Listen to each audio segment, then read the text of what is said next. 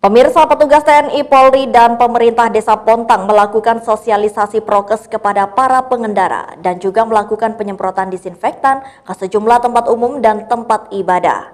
Hal tersebut dilakukan demi menekan potensi penyebaran COVID-19. Sayangnya pemirsa informasi berikut sekaligus menutup jumpa kita hari ini dalam Tajam Berita Jember. Anda dapat menyimak informasi tadi melalui website kami di www.jember1tv.co.id atau Anda dapat mengunduh aplikasi kami di Play Store.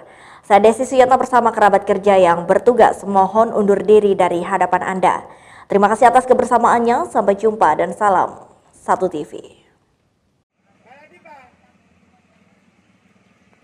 Pembagian masker gratis kepada para pengendara ini dilakukan oleh petugas TNI dan Polri bersama pemerintah Desa Pontang, Kecamatan Ambulu. Sambil melakukan sosialisasi kepada warga pedesaan tentang bahaya virus corona dan pentingnya protokol kesehatan. Tak hanya itu saja, para petugas juga membagikan bantuan beras kepada warga kurang mampu agar bisa bertahan di tengah masa sulit akibat pandemi COVID-19. Assalamualaikum warahmatullahi wabarakatuh.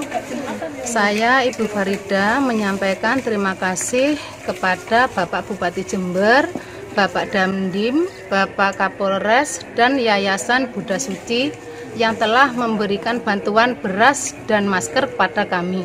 Untuk menekan potensi penyebaran COVID-19, penyemprotan disinfektan juga dilakukan di sejumlah tempat ibadah dan juga sekolah. Kami dari TNI Polri berserta tiga pilar yang bekerja sama dengan pemerintahan desa Pontang, Kecamatan Ambulu eh, memberikan bantuan beras dan masker kepada masyarakat desa Pontang yang terdampak eh, virus corona yang melanda di negeri ini.